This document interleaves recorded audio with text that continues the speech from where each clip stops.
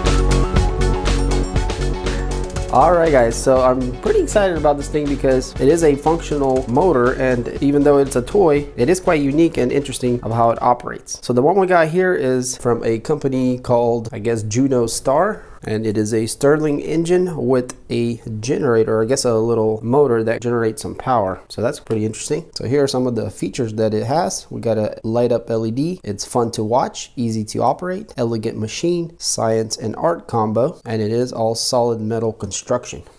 So on one of the sides here, we got a little bit more information about it. I guess some maintenance here, lubricating the moving parts. And on the back here, it kind of tells us the history of the Stirling engine. Let's go ahead and open it up. So right away I can see that looks like this company does have different sorts of Stirling engines and you can see the little pictures here. And looks like some other gyro products there. So, all right, well, it does come with a user manual that talks about all the parts and pieces and maintenance. Another paper here that says, can you see me? And there's more information on how to maintenance the engine itself. So little pamphlet here that shows more products from the company. And this is what we see right on the top here. So looks like we do have a little, not sure what this is called, but I guess you suck up the fuel with this thing. It's like a little box with things in it. Go ahead and open it up. Got a couple Allen wrenches. And looks like in here we have the, the glass container that holds the fuel. Looks like brass top. Couple LEDs, an extra glass, I guess replacement piece for the motor, and the wick itself. Well, I guess there's a few of them actually. So as they consume, you have extras to use. All right, so let's see what else we have in here. We got a couple brackets here, look like some kind of feet or something. Okay, so this sticker here actually shows us that these are clamps to fasten the motor to like the edge of a table. So the best part is on the bottom there and it's the engine itself. Let's go ahead and pull it out. So it looks like it's already all pre-assembled. And look at this thing guys, it's a piece of artwork. So everything is metal. We got the generator here pretty thick large base on the bottom. Glass tubes all aluminum build with the brackets and everything. And the flywheel back here also is all metal and quite heavy. So this is what we see underneath. We just got some foam pads they're not even rubber. This might jump around a bit. But yeah overall very nice and solid construction. And we got a pulley here that connects to another one to the generator. And as this spins it spins the generator. And I guess we can hook up the LED light here so since I've never had a Stirling engine, I'm not too familiar with it, but I know that once you have this tube on this side heated, and so it builds pressure, there is a little pass through here that exchanges with this other chamber here, and as the pistons go back and forth, and this is what creates the constant movement between both of the pistons as they exchange the heat back and forth. So that's probably a terrible explanation of how this thing works, but in any case, I think the best thing to see here is it being an actual operation. So let's go ahead and grab our little container here. And it actually sits right there so we can see how it works. before we do anything, we do need to put a wick in there. So let's go ahead and thread one of these through the top of the cap. And so the fuel you'll need is alcohol. Unfortunately, it's only 91%. I'm hoping it's gonna work, but I think anything 95 and over is recommended. Now we'll see how this works. Let's go ahead and use this tool here to suck it up. So we're just gonna push on it and then let it go and it should suck up a pretty good amount. And then we're gonna put it into the container here. So this thing's not working very well. It must have a leak in it because right when I grab it, it just all comes out. So yeah, in any case, that's about halfway or so. I think that's enough. So let's go ahead, move this out of the way. We're gonna put the wick in it. And that should draw up the liquid to the top or the alcohol. Then we're gonna set it right here, right underneath this glass tube here. Let's see, I guess we'll keep it like this. All right, so after that, we just need a lighter to light it up. Hopefully this will work for us.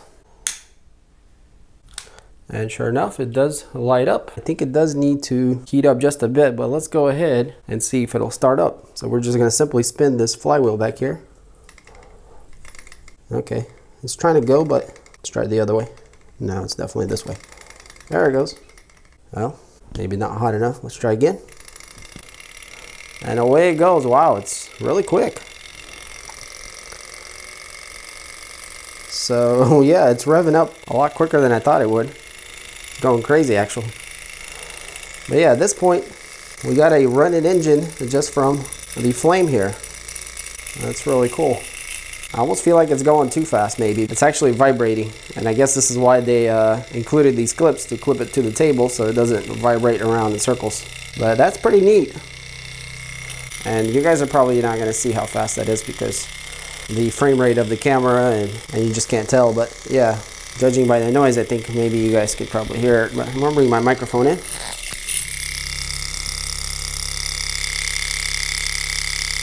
Our 91% alcohol is burning very well, surprisingly. So let's put it out and see how long it'll still run without the flame. Okay, slowing down, slowing down. It's still running. Which is quite impressive that it's still running. Okay, now it's really slowing down.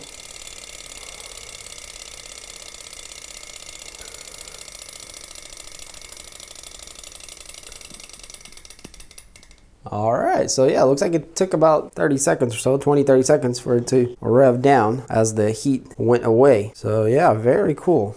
And uh, we, we didn't really burn that much alcohol running that whole time there so that was for a few minutes. So the one thing we haven't done yet is we haven't put an LED in here which it came with two pieces and they look identical. Now I'm not sure if this is an AC generator motor or a DC because if it's an AC we could technically put one diode each way but if it's a DC it would only be one way so I guess we could have tried it while it was running so maybe we need to do that so let's start it up again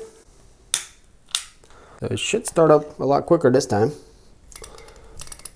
Well, maybe not. Give it a few seconds to uh, heat up. Almost there. And there we go. All right, let's see. You guys might not be able to see this as I'm trying it. Okay, yeah, so it's definitely a DC motor because I put it one way and it actually bogged the motor down. Okay, yeah. So it's definitely a DC motor that's creating the electricity.